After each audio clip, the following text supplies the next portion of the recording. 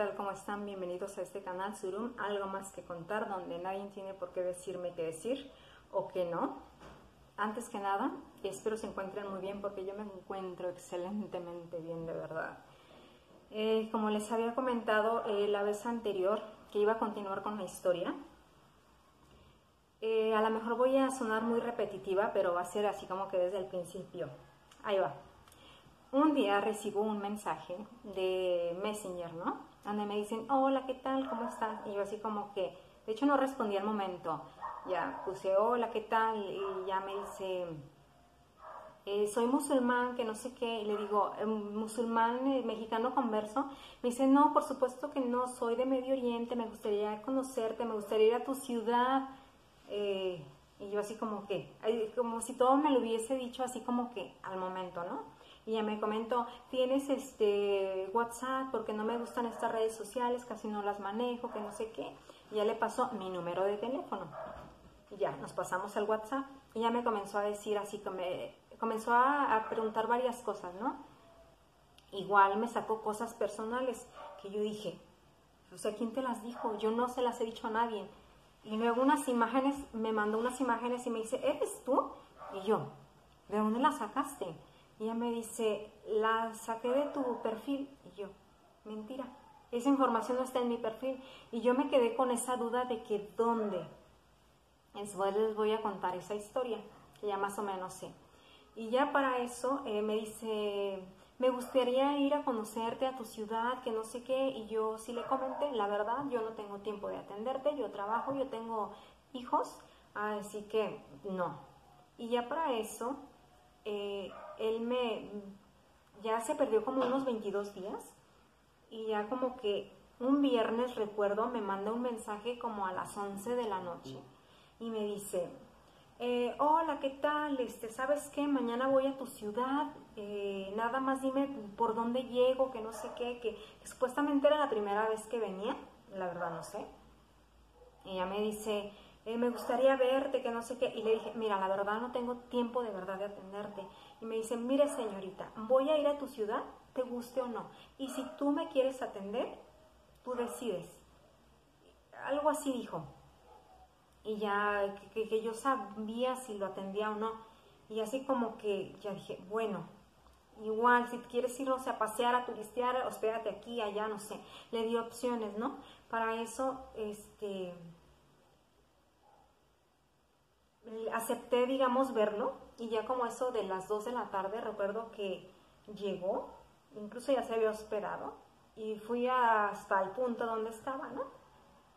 Y ya así como que, o sea, de hecho me había mandado una imagen como que antigua porque no coincidía en la persona que estaba viendo, ¿no?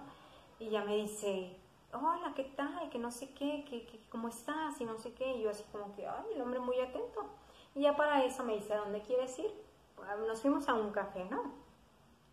Y ya me comenzó a hablar, o sea, muy correcto el hombre, muy, este, hablaba muy espiritual,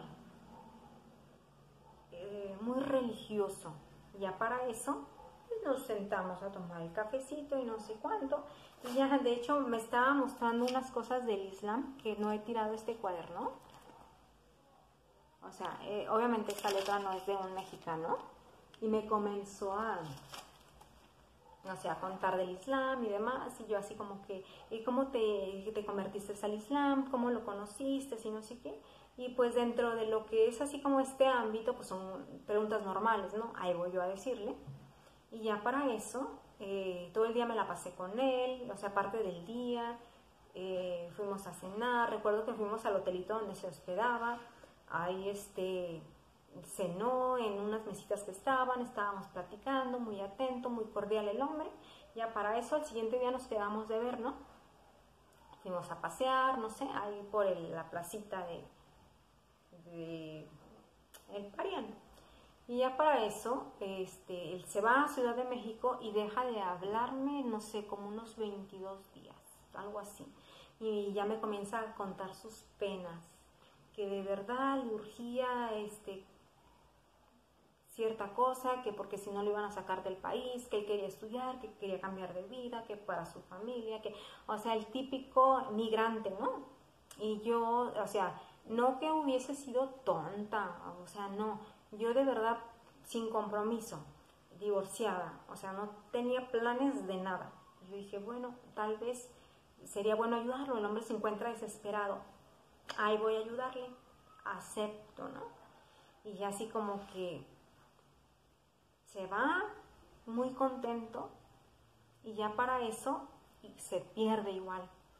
Y ya este, ya que acepto y demás, recuerdo que me quedé de ver en Ciudad de México con él. Que porque ya quería, no sé, ya habíamos quedado en una fecha, le entregué mi documentación, lo que piden, no sé, para casarte.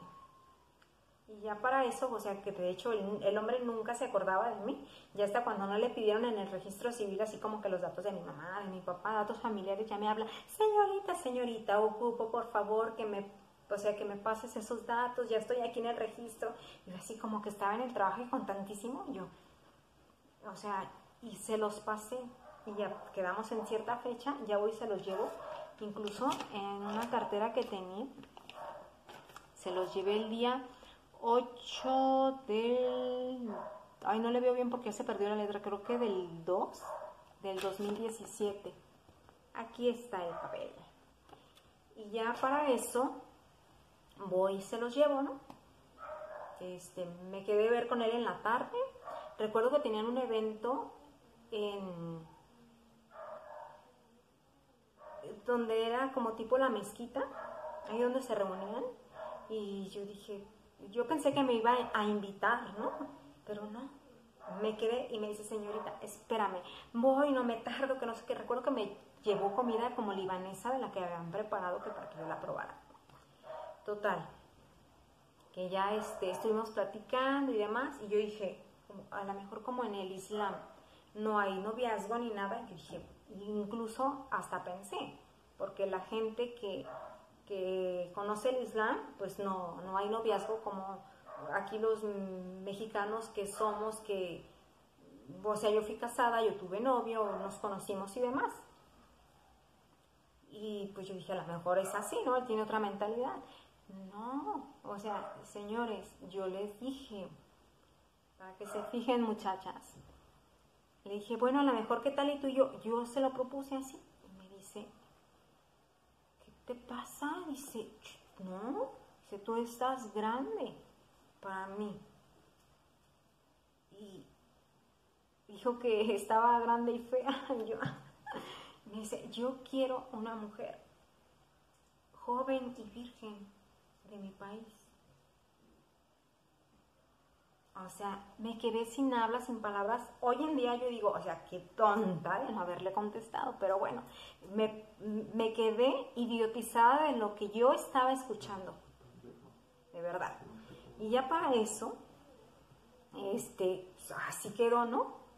Y yo, a mí ya se me hizo, incluso en el, me hablan, así como de decir, nos casamos el día 20 de abril, este, para que vayas preparando, que no sé qué. yo me acuerdo que llegué en la madrugada a su casa, como a, las, no, como a las 5 de la mañana llegué y así como que yo decía, ¿qué estoy haciendo aquí? Pero bueno, voy a ayudar a alguien.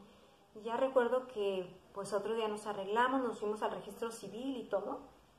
Y las del registro civil recuerdo que estaban súper entusiasmadas y, yo no sé cómo lo verían al tipo, pero una me dijo, ¿cómo lo, ¿de dónde lo conseguiste? Y yo así como que, ya nos habíamos conocido desde antes. Y el tipo así como que muy interesante, de verdad. Ah, tiene una voz hasta dulce. o sea, nada que ver con lo que realmente es. Pero bueno. Y luego ya este, eh, recuerdo que en, al momento de firmar, yo estaba así como que, incluso nos tardaron un poquito porque no sé qué de su papel, de su papeleo no le hallaba, no sé. Y ya este, yo estaba así como que, o sea, ¿qué estoy haciendo? Pero ya estoy aquí, ya, o sea, yo realmente así como que en parte quería y en parte no, yo ya estaba asustada, o sea, porque es fácil decirlo, así te ayudo. Ya cuando estás en el momento tú dices, o sea, no sé qué vaya a pasar después. Incluso yo le dije anteriormente, te lo voy a dar, pero por favor, en dos años me lo das, porque es algo muy, muy delicado y muy serio. ella me dice, no, no, no, sí, sí, está bien. Y en el registro civil yo estaba así como que pensando en, en qué podría pasar el día de mañana. Pero yo dije, bueno, ya estoy aquí. para eso, cuando yo estaba firmando, o sea, sí me dijeron, el persona tal, tal, tal, acepta por esposo al Señor, así, así, y yo me quedé así como que, o sea, por unos segundos me quedé como que mirando a la nada. Y recuerdo que el tipo me golpeó el hombro y me dice, ¿di que sí? Y yo lo volteé a ver y dije entre mí, no, pues sí te urge. Ya para eso, pues así como que firmé, ¿no? Y hasta el señor se me quedó viendo, el juez se me quedó viendo así como que algo anda malo que ya firmé y dije, no, no pasa nada, ya. Y para eso así como cuando salimos al registro civil, o sea que muchas gracias señorita, o sea Dios te lo va a pagar, le digo ya, o sea ya lo tiene, ya no importa, o sea olvídalo. Le dije, incluso pídeme un taxi, ya me voy. Y me pidió un Uber, recuerdo, y al momento de subirme me quiso dar un beso, no sé, yo me saqué y le dije, ya tienes lo que tienes, ya quédatelo, ya, adiós, bye. Y recuerdo que me regresé a la ciudad y de esas veces que tú le haces un favor a alguien que tú dices, podríamos ser los mejores amigos del mundo, pero ni siquiera, o sea, decía un hola, ni cómo está, ni nada, nada más el tipo me hablaba. Cuando yo tenía que firmar este documento que normalmente le firmaba, que tiene, es del Instituto Nacional de Migración, vienen sus datos, viene que yo soy, yo estoy casada, que yo estoy casado con cierta persona mexicana de nacimiento desde el 20 de abril del 2017 y aquí dice así algo, ¿no? Que deseo obtener la renovación de la, de la, esta, de hecho este papel está mal redactado, que deseo obtener la renovación de la residente temporal, de la residente. No sé le ven, está como mal redactada. Eh, temporal mexicana, puesto que aquí tengo vida, familia y trabajo sin otro particular, agradezco la atención eh, brindada a la presente. Y aquí abajo vienen eh, donde yo tengo que firmar, y esta persona. Nada más cuando a él eh, se le ocurría que yo le firmara, estaba súper contento, agradecido, señorita, ¿cómo estás? ¿Cómo te ha ido? ¿Cómo están tus hijos? ¿Cómo? Yo hasta a veces incluso me sorprendía, digo, ay, el tipo muy modesto, o sea, gracias a Dios, muy bien o sea, muy atento, pero ya después cuando pasaban meses, o sea, no se acordaba de nada. Para eso yo me caso y ya como al mes que él me dice ese tipo de cosas, sea, yo comienzo a indagar. Resulta ser que él estaba casado con una chava que se llama, no, no quiero decir nombres, pero total tuvo un pleito muy feo con ella, ella lo acusó no sé de qué, de que la zarandeaba, no sé, se llevó su, eh, sus cosas.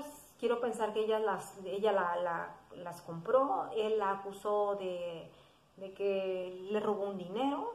Total, que yo le reclamé a esta persona, él dijo que ella mentía, y yo hablé con esta persona, incluso ella me dijo, ya estoy harta de que fulana, sutana me manden mensajes y, y lo manden saludar, su maestra de español, o sea que andaba con más mujeres en ese momento que, con ella. Y yo como realmente no tenía algo serio con él ni nada, a pesar de que lo había ayudado, yo dije, pues igual dime, a lo mejor puedo parar esto.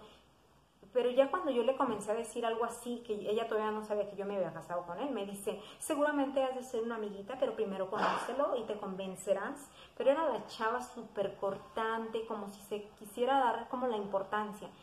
Y sí, así cuando yo le dije, bueno, ya se acabó. Y sí me casé con él y no sé qué, o sea, en el mensaje me dijo, le dije lo que quería, él lo que buscaba eran papeles y cosas así. El tipo obviamente ya lo había dicho, estaba súper desesperado, ¿no? Eh, para eso yo fui con él y demás. Y recuerdo yo que yo estaba tan estoy tan interesada en el Islam. En ese momento buscaba cosas en internet y yo recuerdo que yo le dije, oye, fíjate cómo es esto, explícame, y que me pone un alto y me dice, mira señorita, si fuiste buena para ir a investigar sobre mi persona, sobre mi vida personal, cosa que a ti no te interesa, pues también toma tiempo para investigar en Google ese tipo de cosas, porque yo no te voy a contestar. Y yo dije dentro de mí, oh, o sea, no habías dicho que tú me querías ayudar, que ese sería el precio, porque él me dijo, ¿cómo te podría pagar ese favor? Y yo le dije, no me pagues nada, de verdad, no busco lo económico, simple y sencillamente quiero que me muestres el Islam y quiero conocerlo de una persona nacida musulmán. El tipo quedó en, es, extasiado con eso, encantado, porque no iba a pedir dinero ni nada. Yo no lo hacía por negocio, simple y sencillamente, lo juro por Dios, para ayudar a esta persona. Ya para eso él este, eh, comenzó a portarse muy sangrón, muy, muy así, y nada más me buscaba cuando yo tenía que firmar esta documentación. Y, y ahí me voy dando cuenta realmente de cómo era esta persona. Incluso en varias ocasiones llegó a venir aquí a la ciudad y no traía ni un peso. O sea, yo soy madre soltera, divorciada, como quieran llamarle. Yo mantengo a mis hijos, yo saco a, mi familia adelante. Y de pronto el tipo llegaba y no traía dinero, como en dos ocasiones hizo eso. Yo le dije, ¿sabes qué? Antes de venir, avísame porque yo no tengo dinero para estar, para estar despilfarrando o para estar pagando un hospedaje a alguien. O sea, ese dinero que yo gano es de mis hijos. Y ella me dice, señorita, perdóname, es que tenía ganas de verte, tenía ganas de convivir. O sea, mentira. Algo venía, incluso llegó a venir a la ciudad por buscar trabajo en la universidad, algo así. Y eh, dos, tres veces, si tengo que admitirlo, que sí vino, sí traía dinero, sí fuimos a comer y todo, me trató muy, muy bien en ese momento. Este, yo eh, de este tipo de cosas, en esas dos ocasiones no tengo nada que decir. Este, no sé si quería así como que tenerme contenta. Quiero pensar que sí. Y ya para eso, o sea, como que era un pleito muy, muy feo, muy así. Incluso ya se me han pasado los dos meses y ya teníamos muchos problemas y le dije, ¿sabes qué? Devuélveme el divorcio, de verdad, ya lo necesito. Puse, recuerdo que, porque me dijo, señorita, ¿sabes que no te voy a dar el divorcio? Te lo voy a dar cuando yo quiera, cuando ya hubiese acabado mi documentación. O sea, ya, así me decía. Y yo así como que de verdad te lo estoy pidiendo, te ayudé de buena voluntad, ya dámelo, dijiste en dos años, ya se pasaron. Y aparte por lo que sé de ti, pues obviamente no. Y ya me dice, no te voy a dar nada. Y ya para eso yo le, yo le ponía de pretextos cosas hasta bobas, ¿no?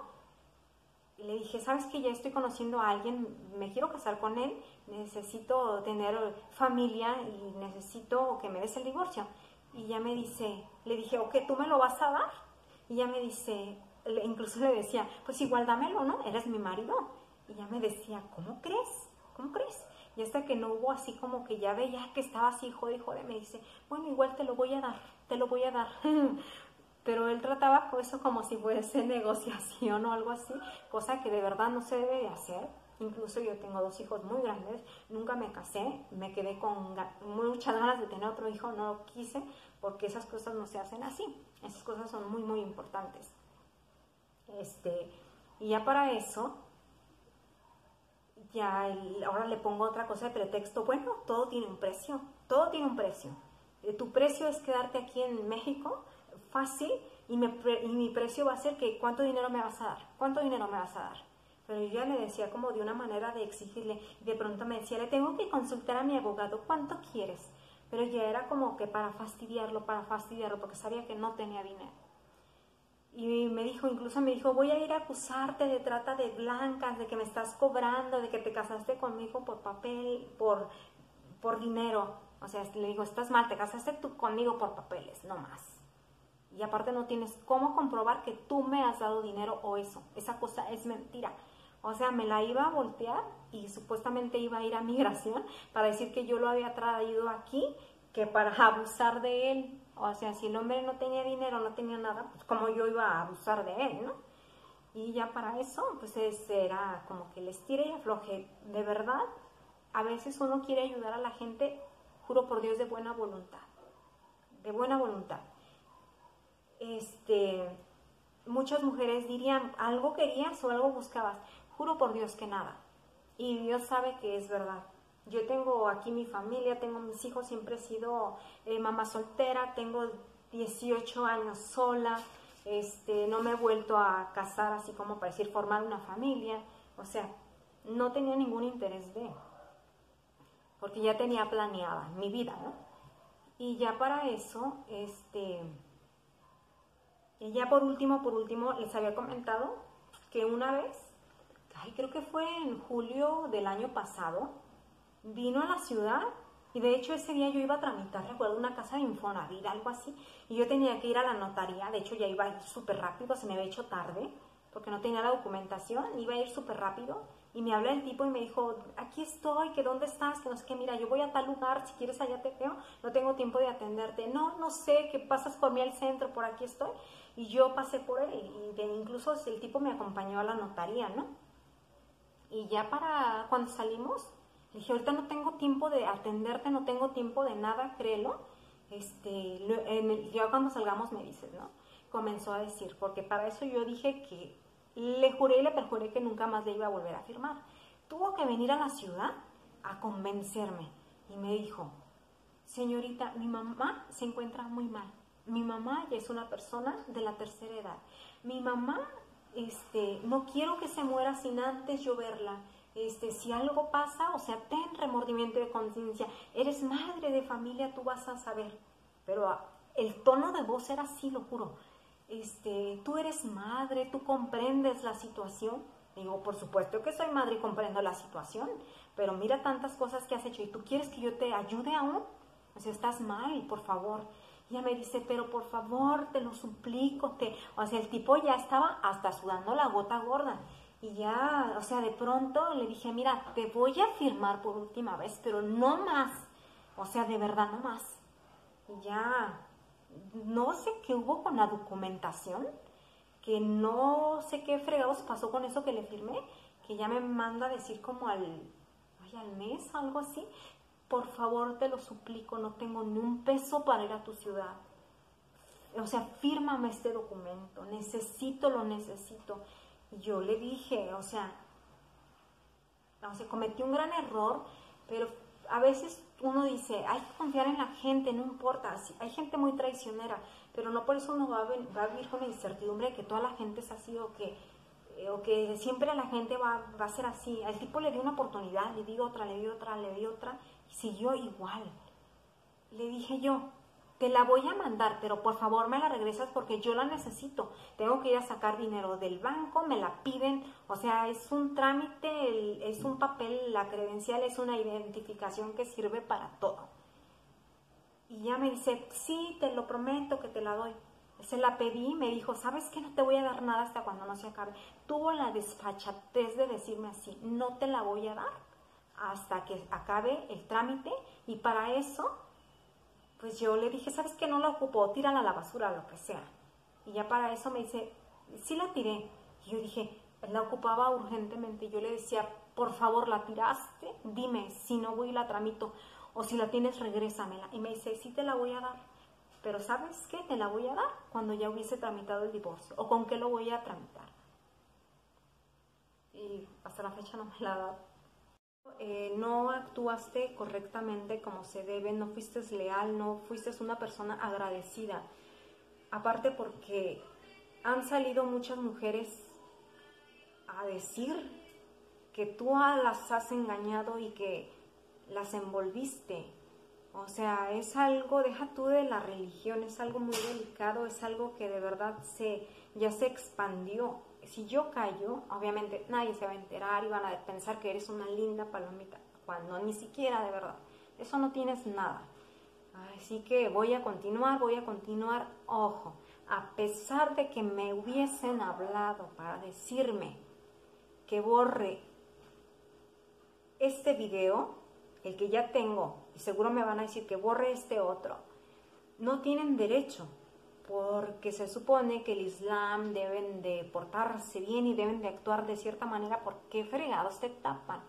¿Sí? Porque las personas o tus compatriotas te tapan, te solapan y me mandan decir, me hablan por teléfono diciendo que por favor me suplican que borre el video. No lo voy a hacer, ni por la religión, porque no estoy hablando mal de ella, estoy hablando quienes quieren lucrar con ella, que es diferente. Y no lo voy a hacer porque no se me da la gana, eso es para las personas que me han hablado y me han dicho que lo borré. Por supuesto que no lo voy a borrar. Y voy a continuar, va el segundo, espero que sea el tercero, cuarto, quinto, y a ver cuántos más hago para que la gente, de verdad, muchachas musulmanas, tengan conciencia de que cuando se les acerque un hombre, vean y lo conozcan perfectamente cuáles son sus intenciones, así como que me urge, me urge casar, casarme contigo, ya saben para dónde van. O sea, igual a mí me pasó por X cosa, igual por tratar de ayudar, pero pues no se vale que le vengan a uno a, ver aquí los guaraches a su propio país de uno, o sea, la, la persona que viene de allá ya sabe dónde. Así que esta persona lamentablemente pensó que me iba a quedar callada, por supuesto que no. Y tú sabes perfectamente bien que todo lo que estoy diciendo es verdad. ¿Va? Así que si llegas a ver mi video, ni te traume, porque son cosas que tú te lo buscaste y pensaste que si agarraste una ingenua, seguiría con la otra, con la otra, pero conmigo topaste con pared porque no me voy a callar, ¿va? Bueno muchachos, los dejo y nos vemos para el siguiente video que no me tardaría mucho en hacer otro. Así que hasta la próxima muchachas. Adiós.